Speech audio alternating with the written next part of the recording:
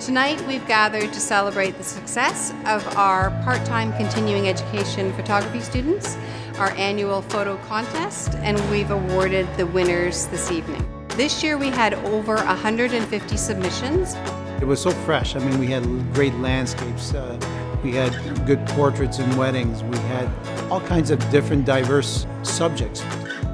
We had four judges, several of whom are our faculty and several other industry members. My name is Genevieve Grenon and I'm a judge. After the birth of my son, I was looking for a little stimulation and to learn how to use my DSLR camera. Genevieve is one of our alumni. She decided to take one photography course. One course led to the next course. She ended up completing all six courses in her certificates and she's built a business in portrait photography. Last year, I launched my very first website and moved to a new home where the studio now occupies a full floor. If you start with the, the beginning prerequisites, the fundamentals that you'll get from one of those classes, you can use it in portraiture or landscapes or anything else that you want to do. I learned lighting, flash photography, uh, Photoshop.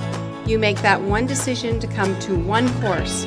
You meet like-minded people, you grow your world, you ignite your passion, and maybe even you change the course of the rest of your life. When I started the program, I did not know this is where I wanted to be. I had brought one of my images to edit, and when I looked at it on the screens here, I realized, oh wow, this is what I want to do, and I can do more amazing things. You have goals, take that first step because once you start, each step becomes easier and easier and easier. Taking classes in continuing education, it's giving me the knowledge to find myself as a photographer, and that is thanks to my education at Humber College.